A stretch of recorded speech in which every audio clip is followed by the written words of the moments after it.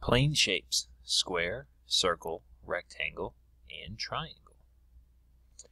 This is a square. A square has four sides. One, two, three, four. A square also has four vertices or corners. So One here, two, three, and four.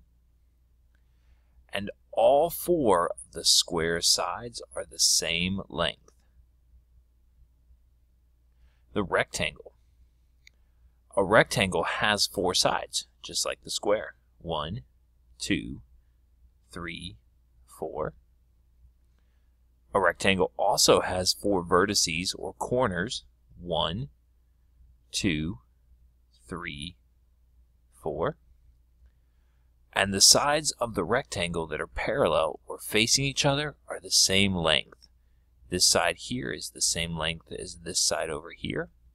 And this side down he over here is the same length as this one down here. A triangle. A triangle has three sides. One, two, and three.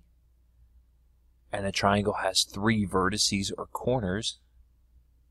One, two, three.